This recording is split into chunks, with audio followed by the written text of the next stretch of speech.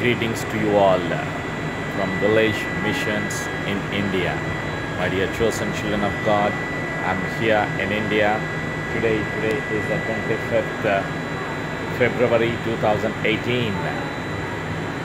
John 3:16 For God so loved the world so he gave his only begotten son whosoever believes in him shall not perish but have everlasting life Lord Jesus loves you we love you my dear chosen children of God this is the beautiful uh, railway station in India this place is called Narsapur I'm standing on the platform Narsapur railway station Welcome to Narsapur welcome to India Village Missions my dear chosen children of God, I'm about to get into the train.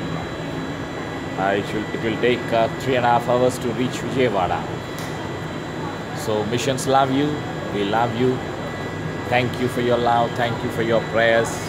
You're welcome to India Missions. Praise God for this beautiful village in India. Dear chosen children of God, Lord Jesus loves you. We love you. Shalom.